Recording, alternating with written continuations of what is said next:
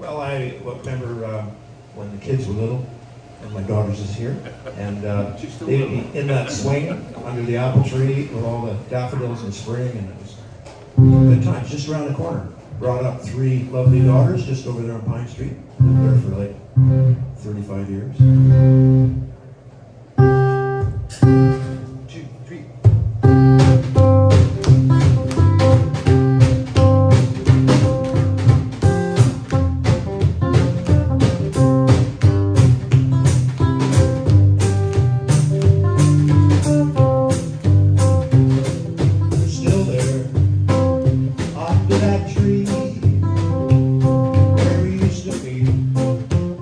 please.